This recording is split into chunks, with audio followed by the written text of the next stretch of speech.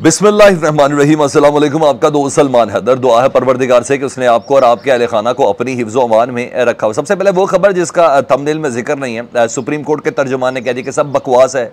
कि शहरी के टाइम कोई जजेस के गैंग्स आपस में कोई लड़े हैं कोई डंडे सोटों का इस्तेमाल हुआ है कोई चड़ी का इस्तेमाल किया गया। मैंने वीलॉग में वो कहा था मैं खबर आपको इसलिए दे रहा हूँ कि ये खबर है। अदरवाइज़ खबर की सदाकत पर मुझे किसी किस्म का जी हाँ कोई यकीन नहीं है कि खबर सही होगी। ये आठ जजेस का एक ग्रुप सात जजेस का एक ग्रुप ये कोई गैंग वॉर थोड़ी चल रही है। और मैंने कहा उस मौके पर ये डंडे सोटों की बातें सोशल मीडिया पर फिर मेन स्ट्रीम मीडिया पर फिर नसीम जहरा साहब तक ने कहा कि हमें ये खबर दी गई और कहा गया बताएँ। ये कह के कहा गया। तो आ, ये मैंने कहा, इस, ये जजेस उम्र के हिस्से में जब इसमें इनके फैसले ताकतवर होते हैं। इन्होंने हाथे सोटे नहीं इस्तेमाल करने। मैंने बोला कि ये सिर्फ़ अपने कमरे से दूसरे कमरे में चले जाएँ और चीज़ों को प्रॉपर अपनी जगह पर रख दें, यही बड़ी बात है। ये छड़िया डंडे नहीं होंगे। तो बहरहाल सुप्रीम कोर्ट के तर्जुमान ने कहा कि सब बकवास है। झूठ पर मबनी ये खबर चलाई गई ऐसी कोई चीज़ नहीं हुई कि जुडिशल कॉलोनी के अंदर चीफ जस्टिस अपने गैंग्स के साथ मौजूद थे और काजी फाइज अपने गैंग के साथ मौजूद थे। काजी फाइज ने स्टिक मारने की कोशिश की, छड़ी मारने की ऐसा कुछ भी नहीं। लेकिन मुझे ज़्यादा इंटरेस्ट इस खबर की तस्दीक से ज़्यादा, तरदीद से ज़्यादा, मुझे ये है कि क्या उन लोगों के ऊपर सुप्रीम कोर्ट कोई एक्शन लेगी? जिन्होंने इस, ये खबर चलवा के, ये खबर दे के, ज़राए कह के, हदें ही क्रॉस कर दी। क्या उन मीडिया हाउस के ऊपर बैन होगा, उनको कोई जुर्माना होगा, उन्हें कोई तोहन जुडिशरी तोहन अदालत या किसी किस्म की कोई कोई ऐसी कदगन लगाई जाएगी। हाँ जी, क्या उन सोशल मीडिया वालों के ऊपर किसी किस्म की कोई शटअप कॉल दी जाएगी? ये मेरे ज़रा इंटरेस्ट है और मैं देखूँगा इस पर और इसका फॉलोअप भी मैं आपके साथ ज़रूर डेफिनेटली शेयर करूँगा। अब आज अपनी आम तरीन खबरें, दो अहम इजलास डेफिनेटली मैंने आगे चल के बताने हैं, और आज तो पी डी एम की हाय हाय हो गई है, बल्ले बल्ले नहीं, हाय हाय हो गई अपनी तरफ़ से बड़ी कोशिश की है तबले बजा के ना, बड़े डेस्क बजाए इन्होंने, जब आर्मी चीफ आए। इतना बजाए मैं भी परेशान हो गया। इन कैमरा ब्रीफिंग है, आप अब समझ रहे हैं, बजा के आप अपने गैर आइनी जो मामला हैं, उससे फ़ौज की सपोर्ट ले लेंगे। अब ऐसा कर लेंगे।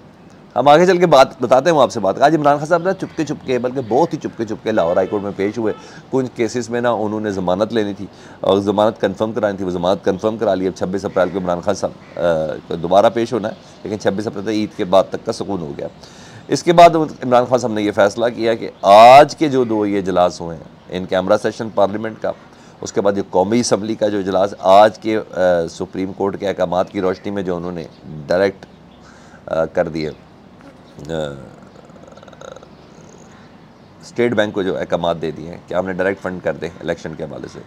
उसके ऊपर, और ये मौजूदा सूरत हाल को इमरान खान साहब ने फैसला किया कि साढ़े नौ बजे कौम से खिताब करके मुझे पता चल रहा है, और बड़ा क्लोज सर्कट में जमान पाक से मुझे इतला है कि ये गैर ममूली खिताब है। इसमें इमरान खान साहब कोई कॉल भी दे सकते हैं, कोई अल्टीमेटम भी दे सकते हैं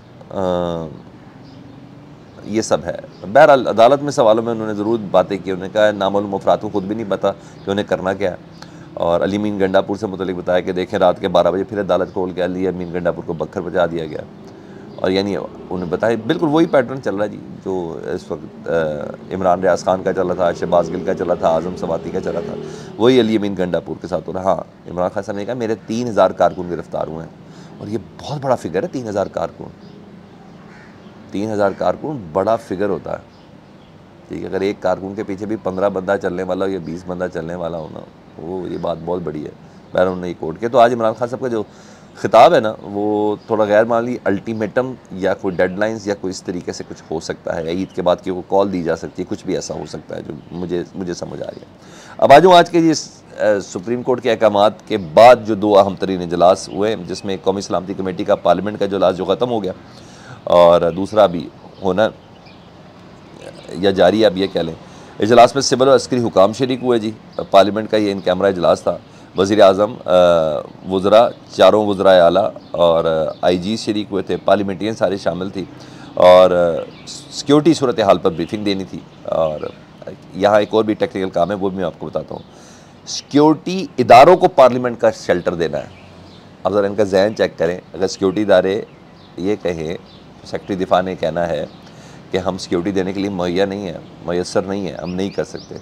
तो पार्लियामेंट से इस बात को शेल्टर देना कि सिक्योरिटी इदारों को शेल्टर भी पार्लियामेंट कर देखिए पाकिस्तान की पार्लियामेंट ये कह रही है इंडोर्स कर रही है सिक्योरिटी इदारों को तो सुप्रीम कोर्ट कैसे कोई एक्शन ले सकती है? ठीक है जी, ये बड़ा ज़रूरी है। और मगर ये भी मैंने देखा कि सियासतदान अपने आप को गिराते कैसे यार क्यों अपने आप को इतना छोटा तस्वुर कराते हैं यार क्यों करवाते हैं आप? आपकी, आप अपनी इज़्ज़त ही नहीं कराते, इसलिए आपकी दो टके की इज़्ज़त ही नहीं रहती।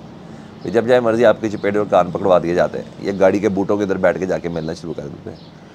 आर्मी चीफ अंदर आए, इतना डेस्क बजा, मैं हैरान हुआ और अच्छा खासा बजाया और चापलूसी थी और कुछ भी नहीं था। सिर्फ़ और सिर्फ़, और ये चापलूसी करके समझ रहे हैं कि आर्मी चीफ या फ़ौज या इस्टेब्लिशमेंट इनके गैर आइनी एग्ज़ाम को सपोर्ट कर देगी? नहीं, ऐसा नहीं होता। अब बहुत आगे निकल चुकी हैं बातें। बहुत आगे चुकी हैं। बहरहाल इन्होंने जो करना था, वो किया यार, कोई तुक बनता है ऐसा। बहरहाल दूसरे इजलास से पहले मैं आपको बताऊँ, मगर आर्मी चीफ ने आज कमाल कर दिया। और बाकी बाकी सुपर कॉप है जी, वो उन्होंने कमाल ही कर दिया। उन्हें कैमरा इजलास में शरीक थे। उन्हें ख़िताब के दौरान कहा कि 1973 का आइन बनाने वालों को खराज तहसीन पेश करता हूँ। सबसे पहले उन्होंने पार्लियामेंटेरियंस को खराज तहसीन पेश किया। जुल्फ़ार अली भुट्टो को खराज तहसीन पेश किया। उन्हें कहा आइन और अवाम, पार्लियामेंट की राय का मज़र है। आइन और अवाम, पार्लियामेंट की राय का मज़र है। हाकमियत अल्लाह ताला की है और अल्लाह के हुक्म से आइन को इख्तियार मिला है। अल्लाह के हुक्म से आइन को इख्तियार मिला यानी आइन अल्लाह के कलाम पाक के बाद पाकिस्तान में आइन की बुक जो है और उसको ये इख्तियार दिया गया है। सेंटर ऑफ़ ग्रेविटी ग्रेविटी अवाम है, यानी ताकत का जो महवर है वो अवाम है। और ये तमाम बातें आर्मी चीफ ने पार्लियामेंट हाउस में खड़े होकर की हैं जी। और इन बातों का सिर्फ़ एक ही करक्स है, इलेक्शन कराओ। आर्मी चीफ अगर जो बातें कर रहे हैं, उनके जुमलों का उनको खुद भी पता है और उनका मतलब जो मुझे समझ आई और जो खुद भी समझदार है। अगर जो वो बातें कर रहे हैं, इसका मतलब सिर्फ़ ये है और इस मतलब पे वो यकीन रखते हैं, सिर्फ़ और सिर्फ़ यही है कि अवाम ये चाहती है कि इलेक्शन कराओ। और मैं कह रहा हूँ कि सेंटर ऑफ़ ग्रेविटी अवाम है, आर्मी चीफ कह रहे हैं। और आइन ने उनको ये हक दिया है तो इलेक्शन कराओ। आज पी की बैंड बजी है मेरे हिसाब से, मेरे हिसाब से। शायद मैं मासूम तशरी करता हूँ इस वजह से। मेरे हिसाब से इनकी ये हुई है। आइन भी आवाम को यही हक देता।